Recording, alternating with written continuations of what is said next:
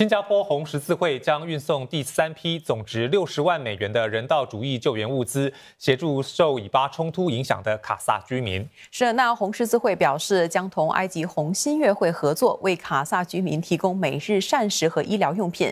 九名红十字会的义工也会飞往当地。红十字会通过位于埃及北西奈省的紧急人道主义厨房，为卡萨居民提供膳食，目标是为至少七千户家庭提供每日膳食。食品供应如米、面粉、盐和油等将被运往卡萨，可为九千多户家庭提供支持。